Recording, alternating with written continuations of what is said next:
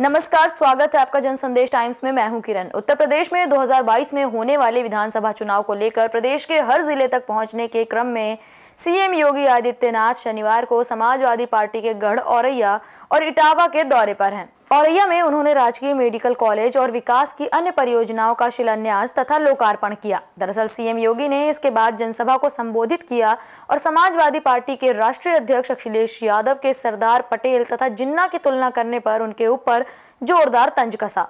उन्होंने कहा कि सरदार पटेल देश को जोड़ने वाले हैं, जिन्ना देश को तोड़ने वाले हैं।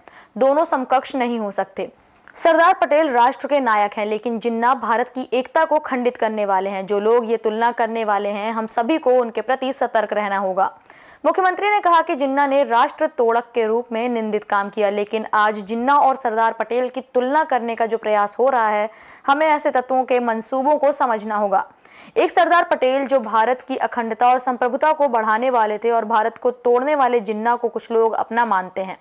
ऐसे लोग सरदार पटेल और जिन्ना में तुलना करने का प्रयास कर रहे हैं। भारत को तोड़कर जिन्ना को आदर्श मानने वाले लोग आज भी जिन्नावाद का समर्थन करते हुए जिन्ना के डायरेक्ट एक्शन को इस देश को भूलना नहीं चाहिए।